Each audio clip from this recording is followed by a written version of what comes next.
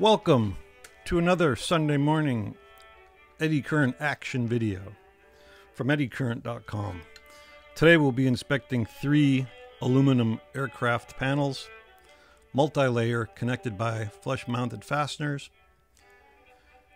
Now the reason I chose this particular tester is out of the five or six or seven or eight that I tested, this tester was the easiest to set up.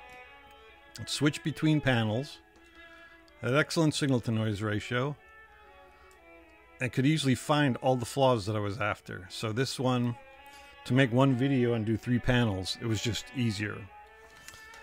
So the probe I'm using is a sliding probe operated in the driver pickup or reflection mode.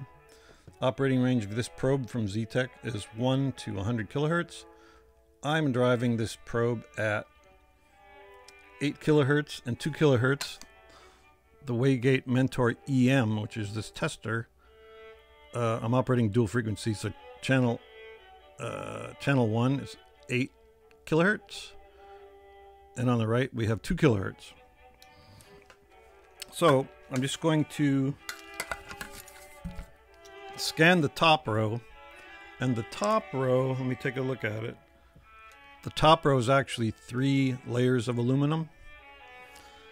I'm just going to put my probe on and I'm going to hit balance. And I'm just going to scan a couple to see where my phases are at. I'm just going to bring this one up a little bit. I didn't set up for any procedure. I'm just kind of roughly dialed it in here just to show you what this tester can do. So I'm going to scan from right to left. This is the three layers. Oh, see that one? That sticks up nice. See the phase lag on that? It's measurable. I would say it's substantial. This is a crack between fasteners on it's either the second layer or third layer. Can I see it from the back? Nope. So it's the second layer. Right there. Second layer crack in between fasteners. Now I'm going to be scanning the bottom row. And this will be two layers. Now I have to take care to try to keep my center line of my slide probe over the top of that second row of fasteners. It's in the dark, Sunday morning. Ideally, I'd be using alarms. See, I got off my row right there. Now, I didn't see anything stick up vertical there, right? But if you have a surface crack, you're not going to have as much phase lag associated with it. So that thing that jets off to the right, or to the left right there, right there, that is a crack in between two rivets on the lower row there. You can probably see it right about there. I can't even see it. I think it's right there. It's either there or there. We need to talk to the lighting guy. There it is, right? Right there. I need some AV support on this Sunday morning. Next, we have a lap joint from an F100. Let me take a look at it, and see how many layers we got going on here. We have got one, two, three layers. And the, the middle row is the thickest, which has three layers. And then the top and bottom row, if you look from the back, the top and bottom row will be two layers. So the first thing I'm going to do is scan the top row from right to left. Actually, I take that back. I'm going to start upside down and start from the right to left on the first row of rivets. This will be two layers.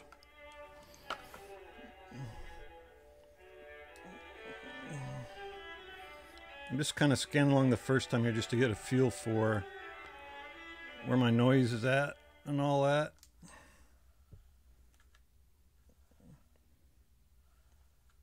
All right, so this one has a flaw there. I'm on the right end of the panel. There it is. And then about halfway down the panel, I've got that one. These are both cracks in between fasteners in the second layer. So now we're going to go to the middle row, which is right here. That's going to be the thickest portion. That's this row of rivets. And let me see here. I'm not sure if this one has any or not. I guess we're going to find out, huh? Hmm.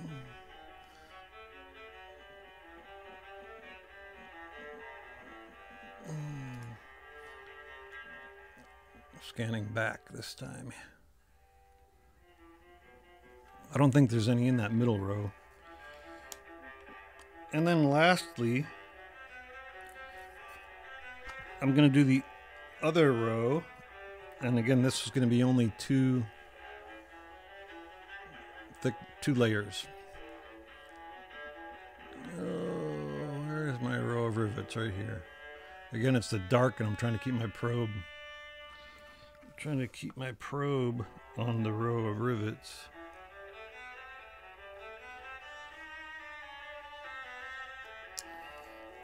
Scanning, scanning away.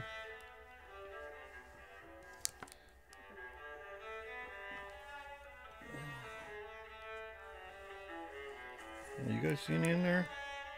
This is like a two-man job today.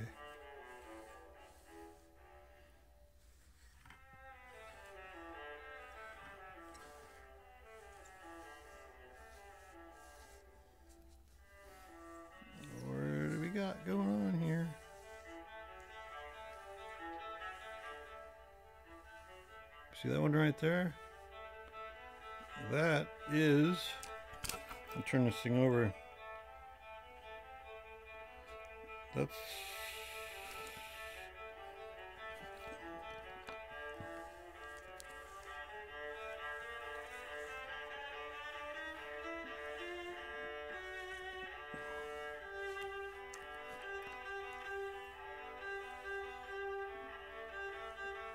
that appears to be the first layer crack underneath some paint because of the low phase lag.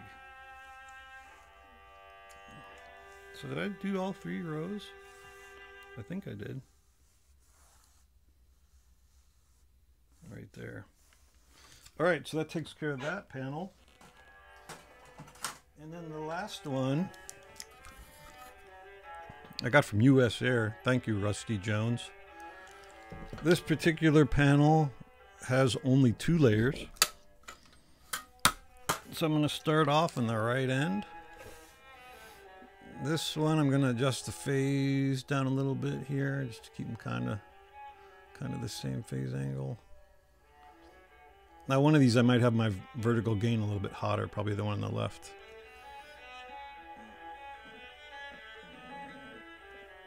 Let's hit the old balance button. That didn't do it. Again, I got to take care to keep pressure on my probe. I can see here I'm going to have to take this one over a little bit. Rebalance. Whoa. All right. On the left there, we got some action. Let's try this again right here.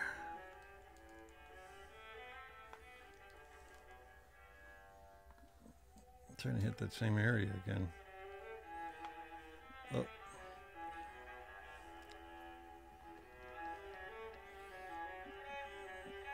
Nah, that's just uh, that's just contour right there.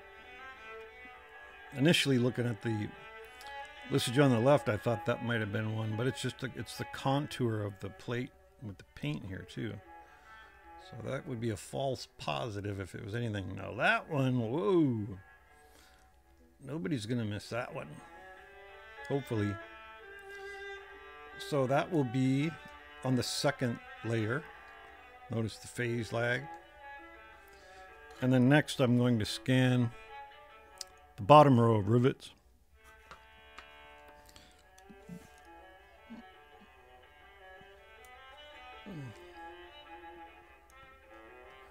Going from right to left. Oh, see that one there? So, you know, that huge trajectory going to the left there, you might think you're off the edge of the plate, but what that is, it's a crack open to the surface on the first layer right here. And the other one with the OD phase, that one was on the back side here. So there you go. That's three panels, one tester, one probe, not too much variation in between the setups, and it easily pulled all of the flaws um, out so you could see them and report them to the client, keep everybody safe. All right, thanks for watching.